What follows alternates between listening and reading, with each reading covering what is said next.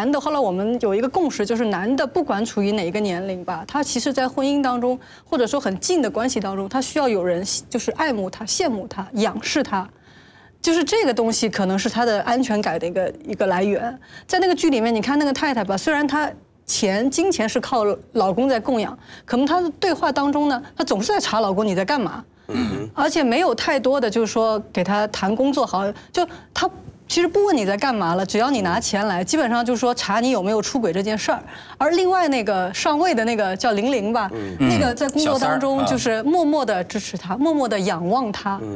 因为我们后来联系我们周围有一些状况，就都是觉得说，你说或者说我们看到另外一种，就是女的是家里面钱赚得多的，这种情况就也很多啊。那那个男的会怎么样呢？会怎么样呢？哎，一开始那个男的都说我也可以在家里带孩子啊，这种关系新型的这种关系也可以啊。最后都不是那个女的出轨，是男的出轨。嗯就是男的永远在这个关系当中，他要再找一个比他。弱一点的来仰视他，哎，还真的就是，我一些闺蜜就说呀，说你以为女的养着男的，就女的比男的挣钱多，呃，就是呃女的容易出轨吗？她说不是。很多挣钱比老公更多的女的，她一样担心老公找别人，因为这个男人他可能是因为压力。孩子上幼儿园的时候认识别的妈妈。对，好多电影里面就这么演的。不是他这个意意意思，就是说说他们说这部电视剧里啊，就是讲出了一个讽刺，就说现在这个婚姻呢，需要担心的呢，还不是小三儿。而是老三，为为什么？因为她老公后来找着的这个办女同事吧，就算是也是带孩子啊，也是这个这个呃结过婚的呀，呃也不是说年轻貌美。本来这个马伊琍防的呀是那个年不不是马伊琍，对不起啊，是罗罗子君防的是那个年轻貌美的，但是没想到给老三抄了底了。啊，我觉得觉得这个这个很好的提醒嘛，因为好多女人我觉得都有错觉。总是觉得他的情敌啊，一定是什么小三啊，年轻貌美，那基本上男人什么都喜欢，什么都都想要，对，真的，他什么都想要啊。所以，呃，所以你年轻貌美也好，成熟也好，仰望也好，甚至有时候我必须告诉你，男人也喜欢喜欢仰望女人的。我很多的这种中老年的男性朋友哈，那经常称赞哪个女人啊，有本领啊，能干啊，钱赚得多。也一样仰望啊，所以说，假如你只想他们会想娶那样的女人吗？啊，他们会想娶那样的女人吗？那男人没有想到这个这么怎么讲呢？没有只想一种的可能性了。哈，他可能想说，哎，先试试看嘛，试得好取也无妨，不拒绝。我觉得男人的哲学就是说，不排除一切的可能，所以男人的弹性蛮大的。我能告诉你，有一个就不是男人，就是你身边这位，哎，他肯定不这么想，对不对？你瞧瞧，我倒不敢讲话了。不是，我倒没有什么这种想法，但是我倒想说说，我觉得有意思。你刚才说到那，我刚才说到，呃呃，男的送孩子上幼儿园，那是真事儿。嗯，我真有这么一个朋友，一个日本人，奶爸就叫对奶爸，他当奶爸，我认识几个奶爸。嗯，那这这其中一个奶爸，日本奶爸，那在日本当奶爸是尤其古怪的一件事儿，结果他就当奶爸。然后当奶爸呢，就天天送孩子上幼儿园。他跟我讲那个感受，你知道像是什么？你能想象那个环境？你知道幼儿园，日本的那个幼儿园或者小学里面一堆那种亲子活动，每次亲子活动是都家长要来，那家长要来呢，要给孩子打气，哎呀跑得好，跑得快，加油加油。一帮全是妈妈，就他一个男的。那一开始所有人都觉得很尴尬，看到他，但后来他发现自己这个状态啊，简直像狼入羊群。你懂那个意思吗？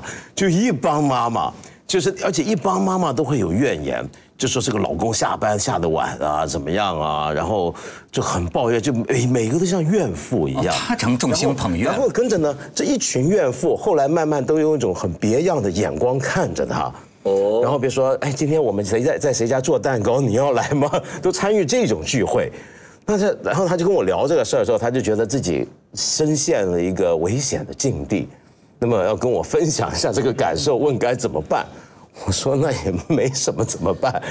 对不对？没有，你作为朋友，我是你的话，你就你会劝他什么呢？不是啊，我我会这样鼓励他是我作为你朋友，我要替你分摊你的 痛苦。我觉得对我也来做这个陪陪工作你你我当下回送小孩带着我去，我也来，我当干爹那样子来是吧？对啊你这种体会，你又算是这个问对人了啊！你有这个体会不是？我可以给你那个放一段这个视频，让你知道，就咱们座中有一位，他就是有这个体会。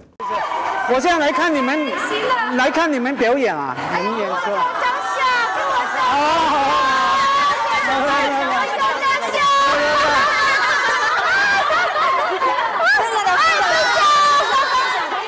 要用你们的手机拍，我的手机死机了。可是那个视频啊，没有拍到我痛苦的一面，只拍到我快乐的一面。为什么呢？当时我的台湾太太就站在旁边，因为她跟我一起来拍嘛，深圳嘛。我一看到家辉这种景象啊，我就总是想起我们当年的一句那戏里边的词儿，叫做什么呢？战士的责任重啊！为什么战士怨很深妇女的全是妇女的冤周身呢？就说与社会脱节多年的女的，真跟老公闹别扭了，她要出去工作的时候，你就要面对几年间更新了的社会啊，那就像一条鱼扔在沙漠上一样。这就是说，当年老公一句承诺，我养你，还有一个，我就发现这个剧还有一个挺挺吸引人，或者他我觉得他火的一个原因是什么呢？你不觉得全职太太是一个全新的阶层吗？你倒推这个十年二十年，可能这个中国没有这样的阶层，就所就所谓的全职太太，太太大家都得上班。那个时候就为什么有托儿所啊那种，就是因为大家都得去上班，你得把孩子交到外面去。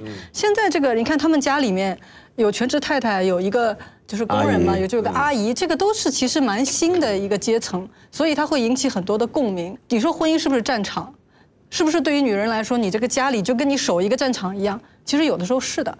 我最近碰到我的一个朋友，她呢跟她老公呢，就从结婚开始，两个人就是分居两地的，就坦白说是就是应该也没有什么太多感情。她说过去呢会觉得两个人呃想凑在一起，现在觉得凑在一起都是烦。后来我你知道我怎么劝他吗？我也觉得我挺幽暗的。我说那你得先准备着。我说你别人家给你来一首，这个给你一个 surprise，一个惊讶。我说你得先自己留一手，留一个后路。呃，宁宁可是你给惊讶，不要是别人给你。因为说实话，我觉得对于一个女人来说，如果先被老就老公 先出招的话，你其实心里真的，你再有其他的天地，你有事业，那种崩溃感是非常强烈的。所以你知道不，管有没有工作，不过我我觉得刚才你讲那个情况啊，倒很有意思，因为让我想起来，就是从这个小说，大概是在香港上世纪八十年代写成的小说，那时候我我都很年轻的时候看的小说。那么今天在大陆火，我正好看到是两个社会好像走向相反的方向。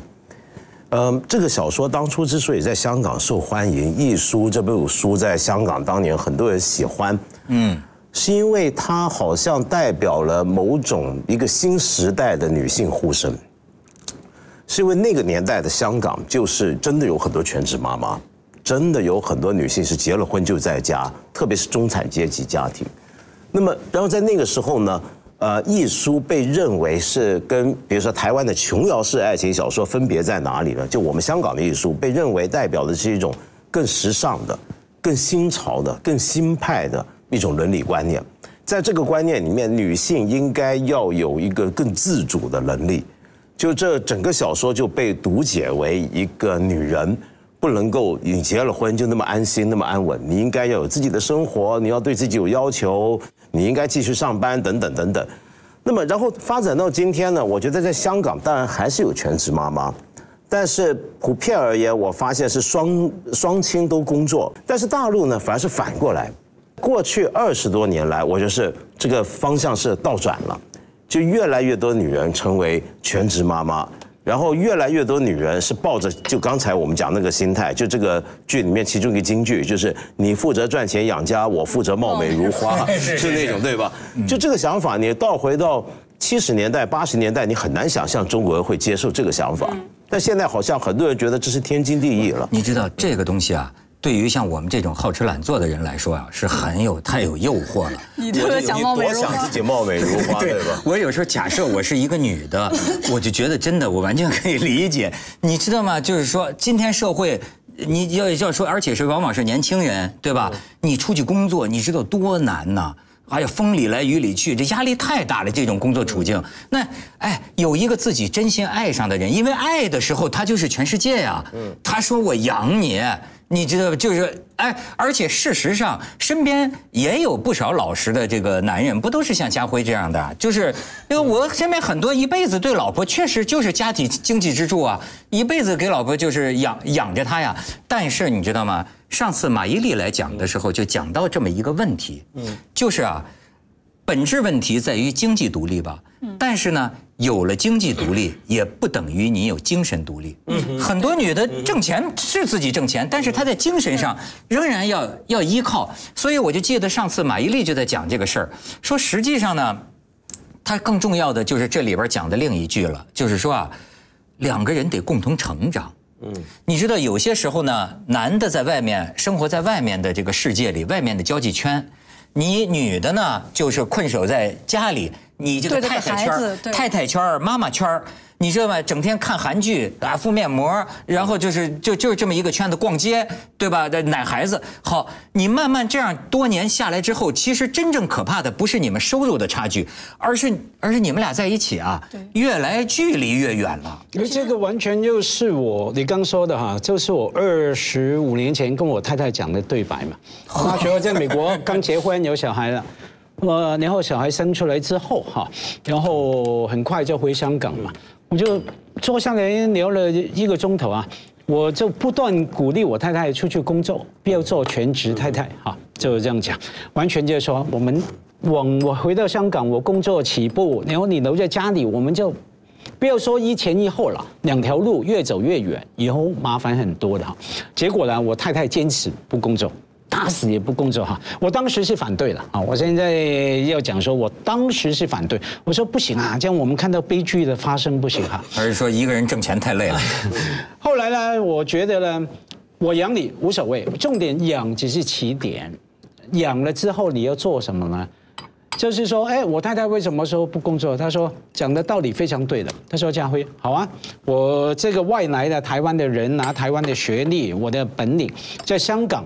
我太太是写作的，她说在香港不需要写作的人啊，写作的人有梁文道，啊，大学还没有你，哎，有我这样，那那所以，他。顶多去去做一个工作，大概就是这呃很辛苦的，大概赚个很很起码的工资哈。可是整个精神的消耗，整个整个折腾啊，他说不见得对我们的关系有好的帮助。反而他在家干嘛？所以这是重点，到底是全职什么太太啊？他在家就是看书、写作、思考、看电影。结果呢？假如真的是我在生活上面、经济上面养他的话，是我太太精神上面养我。我的工作什么什么，他看了一些书，看了一些好片，介绍给我。重点呢，就是说，呃呃，你养你无所谓，因为我们也要小心，不要好像全职妈妈就是一个毁灭的东西。对，没错。你要全职什么妈妈里面啊？我除了那个什么什么工作不工作，性别问题，还有一个元素很重要的，必须承认，全职富妈妈、全职中产妈妈、全职穷妈妈是不一样的。我们都说草根的妇女啊，哈，基本上是蛮痛苦的，双倍痛苦。一方面受父权的压迫嘛，另外一边受商业市场或是说所谓资本主义的剥削哈。可是中产，他说比中产更高的妇女。不管你工作或者说全职在家，你有你的优势啊。问题你懂不懂得用啊？假如你真的只把你的优势用在貌保持貌美如花，那太笨了。嗯，那你太笨了，你到最后一定一定毁灭的嘛哈。所以我觉得要加进去。不过我想讲就是，其实真的在基层家庭而言，全职妈妈是非常少的。对，是比例上相对要少。不过那是另一回事。我你刚刚说到这个。精神独立这一点，就刚才你说这个，我觉得很有道理，因为这这就是接回刚才我讲所谓的日本式的家庭主妇。嗯，我们常常看一些日本的电视剧，你会看得到这么一种类型的人，就是退休男人。呃，比如说最近不是有什么孤独的美食武士，其实也是从深夜食堂内陆发展下来的。那这一类的电视剧，通常它的主题是什么？就是一个退了休的男人，生活的很空虚，不知道该怎么办，就像不用上班了。那早上闹钟起来是平常该出出门打拼，了现在一下没班上，然后你就发现这个男人一下子就什么都没有了，生活原来最空虚的是他。那他在家里面呢？你注意啊，他的太太原来应该是所谓的全职妈妈，但孩子也长大了，早出去了。那么这时候他回到家的时候，他才赫然发现，原来太太老不在家。哦，你知道为什么吗？因为太太平常就很忙，他们那个生活就是我想讲，香港现在开始有很多全职妈妈也是这样，是怎么样的生活呢？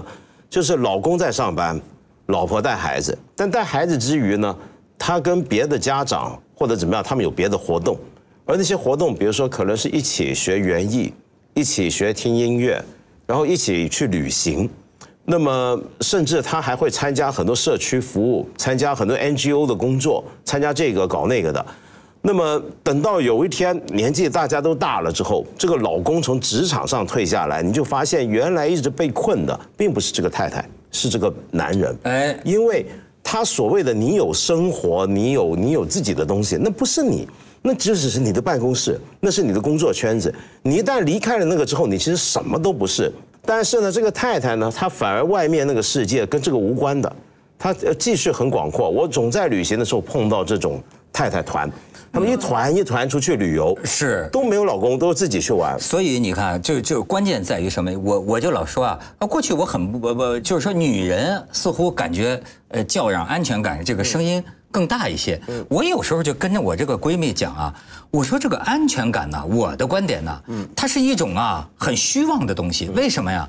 这安全感是一种你一得到就毫无价值的东西对对，你比如说，哎，好，你看没安全感的时候，你觉得好想有安全感。佳慧那么不可靠，他怎么能让我觉得可靠？好想有，但是一旦有了，你比如说，有有的人说我这老公啊，这三脚踢不出个屁来，他太老实，我推着他出去走的出轨，他都不会出去，太有安全感。好，安全了，明天安全了，安全怎么样了？而且我就发现在怕的是什么呢？生活停止。我觉得人呐、不是说不管男女，包括我自己是有惰性的。我反倒觉得有时候不安全，是让你提气的，让你维持一个好的状态。呃，其实就是你生活还在继续，而不是就天天看电视剧，然后就是胡吃梦睡啊。那你说这种安全，这种是是堕落呀？我觉得是。我对不起，没有，你先说。那我想反过来讲，什么叫安全？你把安全放在哪里？假如说我们刚才讲那种电视剧，那个女人原来过去错的地方，就是她把安全感都放在老公养她身上。那那男人呢？男人的安全感难道就对吗？那个男人的安全感不就寄托在他的工作上吗？有什么分别？你都是把你的安全感建立在一个事情上面。所以为什么说很多男人他失业了，他也全世界都崩溃了？这个男人被被炒掉了，他也都崩溃了，因为这时候他跟一个发现老公原来还有老三或小三的女人有分别吗？没分别。在这个意义上讲，我觉得你说你要把安全感不能够建立在老公身上，你还要有工作，对我来讲都是一样的。不是在一种关系在一种关系里面陷得太深都有问题。当然反过头来说，我想说的是，你刚刚讲女就是女性经济独立还是精神独立？就是女性，我觉得首先是经济独立，然后呢，精神独立的代价特别的大。就是其实相比之下，就你想啊，这个一九二八年，差不多快一百年前了吧？那个那个沃尔夫写的那本书，自己的房间，自己的房间。他说，女的如果想写作，就是说跟像男人一样能够去写作的话，首先你要有一间自己的房间。他没有说是房子啊，房间还要呢有五百英镑，就要有钱。你首先得用物质把自己隔离出来，你才可能精神上独立的去创作。你记得那个诺贝尔文学奖？呃呃，那个莱辛，他第一次就是很年轻的时候嘛，他就生了小孩了，就他他就结婚，然后他十九岁哈，结婚就生两个小孩，当时他就怕了，你说的这种不安感，他就怕了，觉得说我会快没有我自己，而且他说呢，因为他看过他的妈妈还有呃那个阿姨什么那种，都是女人呢，在大学里受了好的教育，知道未来可能会有更好，但是回到家庭之后，他发现哦，现实是这样的。他就特别恐惧，他怎么呢？他搬出来，就住在外面，只从亲戚那里打听孩子的这个消息，坚持去写作。我觉得，天哪，这个代价你不觉得对一个母亲来说太高了吗？保持这种精神的独立性。那我自己，我有一年我试过是我没有工作的，嗯，那一年呢，我老公还跟我说，那那个说这样吧。呃，我说我不好意思问，就问人去拿钱哈。我说那个，就他说那我每个月给你发工资。我说这个吗这有点北欧范儿，这个有点北欧我觉得也。很对啊，家庭主妇是应该拿薪对，水的。我还是不舒服。我觉得说，哎，我不好说，哎，这个月又忘记转给我了，你知道那个话说不出来。然后后来我还是后来我自己，当然那一年我其实没有闲着，我特别忙。我那年我自己去采访，我自己在写东西什么的。后来呢，还是又开始去工作，我就觉得我自己又工作那个感觉就是跟我孩子说，哎，这些玩具妈给你买的，你要什么去商场妈给你买，那种感觉，你就是我自己的信用卡去刷那个感觉真的不同。哎，你是不是感觉就是当代的这个女性，咱就说在中国吧，还是有个自己的工作好，就自己要有工作好这。个工作呢，现在选择那么多，你这个工作不一定是朝九晚五，你风里来这个雨里去，但你得有个事儿干。你这样说，然后咱们从你看全世界最富有的人，他们的妻子在干什么？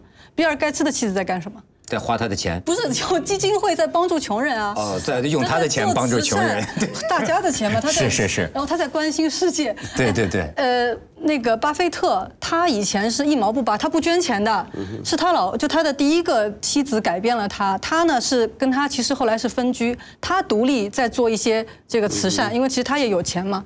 后来他影响了巴菲特，到他就是他这个第一位妻子死了以后，巴菲特突然就顿悟嘛。把他大部分钱捐给了比尔盖茨的那个基金会去做善事，就是说你可以甚至做到，你虽然花着你老公的钱，但你影响他怎么花钱。哎哎哎哎，这这这这是高人，而且而且从你这儿我就觉得，实际上问题在于，就说全职太太不可怕，嗯，可怕的是呢，生活的停止。就是说，你仍然可以继续有你自己要做的事啊，对吧？你只要有你继续要做的事，你就保持着自己的一个方向。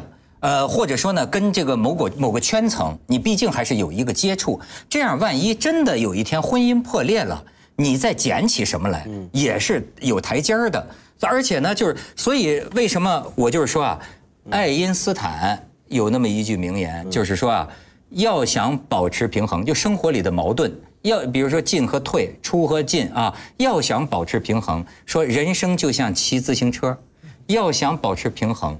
只有继续前行，就你得一直蹬，它才不会倒。就说你这个生活不能停止，你得锐意前行。这是我们的哎，广告词儿，广告词儿出来了啊！这个福特锐界圆桌派啊，锐意前行，这行了吗？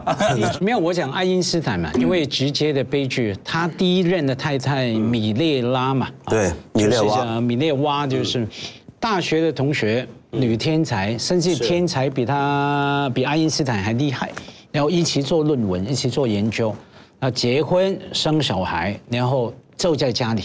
然后我们最近看那个那个电视剧啊，天世纪天才啊，爱因斯坦里面演的真好啊。他太太那个从一个天才的女人啊，变成一个全职妈妈、全职太太，那种悲愤，你知道那种悲愤就是说，哎，到最后爱因斯坦拿诺贝尔还有机会拿到诺贝尔奖了，他太太讲一句话说，本来也是我的。本来也是我的梦想，本来也是我的，那最后就完全一模一样，就是跟罗子君一样。到最后，他基本上的生活呢，就在追踪老公爱因斯坦有没有跟女助理、女学生那左弄右弄。那节目就丰富了。那后后后来就离婚了，离婚的条件还是钱，本来不离婚了，他也很厉害，分居了，不肯离婚。哎，听说是爱因斯坦这个这个诺贝尔奖的奖金，就给了他这个前妻了。他也是赌博啦，因为不一定拿得到，到时候拿不到怎怎么办？对，后来他拿到了，全部给他。所以他得奖的时候毫无欣喜之情嘛，就 这完全悲剧，这种悲剧到现在还是一样真的。我看了看他们这个女女人的解决之道，比如说罗子君的解决之道是什么呢？如果我的家庭破碎了，我走出家庭，从卖鞋开始啊，然后这么这么奋斗，但是这给我们示范了一个什么路呢？就是强者之路。你知道这东西啊，我真觉得那天我还看一个女性论坛，几个女人讲，就说咱们女人老被问这个问题是家庭重要还是工作重要，还是什么怎么怎么着？她说当然都重要，当然缺一不可，我们都得把它拿拿得下来，是吧？哎，这真的就是说，作为难道说作为一个女人，你真得是上得了厅堂，下得了厨房？人家那段子讲的嘛，买买买得起呃好好车，知道吧？不是开得起好车，呃住得起好房，是吧？还有 叫什么？斗得起小三什么？斗得过街，斗得过小三儿，打得过流氓。你那，你真是全知全能全勇。可是，对，这是我们的榜样。可是呢，我有时候啊，我这个同情的眼光啊，也会看到，哎，男人女人都如是。这个社会上有一种叫弱势人群，对吧？就是当然，我们有些呃人，男的和女的，确实你有本事，你工作生活都能干得好。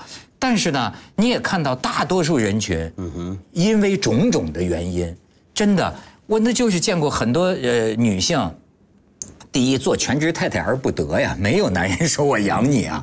再者说是，呃，婚姻被抛弃了，他确实没有那么高的能力，你知道吗？所以在重新走向社会找工作的过程中啊，就是很被动。那我觉得你这种不能老是说是学习罗子君好榜样，他就能解决问题的，对吗？嗯，可是我我我还是在想，我觉得安全感是什么呢？就就你比如说我们，比如说女的学了十十八般武艺，那是不是就更有安全感？我觉得不会的，就就我没见过有很多人是有完全的安全感。一个事业再成功的人也会有不安全感。所以这样说回来，刚说到全职太太什么，那里面牵涉到男女啊，假如真的要一起走的话，那个关系怎么来谈定？两个人互动哈，大前提是说，就算没有了那个家庭，没有了那个婚姻，那又怎么样？嗯，我觉得整个社会上真的太多的悲剧，都是到现在不断的灌输，说你说还是要有那个才是生命的安全感，才是价值的所在。而且不仅是女啊，小君君，男人多痛苦啊！我每次看到这一类的电视剧、小说什么，我都试图从男人的角度看，我说那个男人真伟大哈。一方面又有外面又有外遇这个那个，然后可是又要负起责任，啊，不肯撕破脸，抛开抛妻弃子啊，承受不起这种压力，那多男人那个所受的苦啊，多么惨啊！可是男人呢，还是被谴责为人渣。其实男人的苦没没人知道。最近那个你终于为人渣。这个仗义直言了，是吧？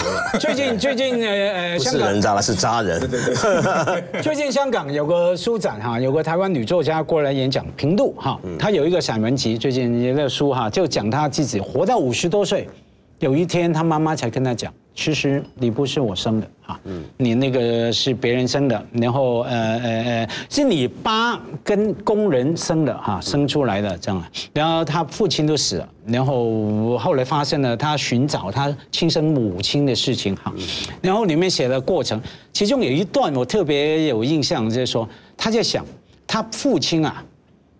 可能他就想，他父亲一般人来看，他父亲就是人渣嘛，怎么跟家里的女佣搞起来了，还生了小孩，呃，让两个女人这么痛苦，等等等等哈。他就想，有没有可能，当我父亲跟那个女佣抱在床上的时候，他们是真爱了，可能真的爱啊，可能是爱的，然后爱的那个，可是整个社会给他们压力，把他们拆散。然后他还要做回一个好男人，他父亲是教授哈。有这种思维的人，不当作家都屈才。那没有，他就那个那个呃，可能是真爱啊。可是为了那个名誉，为了家庭，然后为了不伤大老婆的心，结果他就这样这样跟那个女佣分手。真的，义军，男人也不容易。这几年呢，全听你们这些女性在那霍霍，在那叫我们都在那儿哎低眉顺眼。对对对，说的对，我们要尊重。你们何尝知道我们的难呢？其实我一直没明白这个戏里面，你说那个，你知道我今天我不是我我我我你说这个，我今天在香港电视上看看着一个广告拍的，我觉得挺逗的，就是说说明日本女人她们是怎么感谢自己的。老公就是一个日本的一个冰箱的一个广告，我觉得最吸引我的是这个日日日本太太的表情，就说话说老公半夜咵进进门进来了，这太太根本没穿睡衣啊，就显然是正装在家里一直等着呢。老公一来，好家伙，然后啪一下打开冰箱，一瓶啤酒放在那里，然后都是这样的看着老公喝，然后说今天有新鲜的蔬菜，你要吃什么？老公正在犹豫呢，哈，太太说：“我给你来个野菜拉面吧。”好，喊那野菜拉面吃着。然后老公吃的时候，他太太垂涎欲滴的看着老公，就是说了那么一句话，就说：“其实你现在每天的付出，已经是做到最好了。哎，这老公我看眼神一愣，好像说，哎，下班后喝顿酒还是有好处，是吗？晚点回家有好处。但是接下来呢，这个太太就拿那个那个啤酒啊，还是清酒啊，给她老公倒酒。主要是倒酒的时候，这个日本女演员这个表情啊，简直就是说，哎，老公你的付出已经是最好的了。为什么哭呢？就感 对，哎，就是就是太太是你要感谢我养你，就是老公养家，太太是要这样的感恩，这样的，我觉得这就是日本人日本人拍的这种广告。我以为到中国就得报菜了，是吧？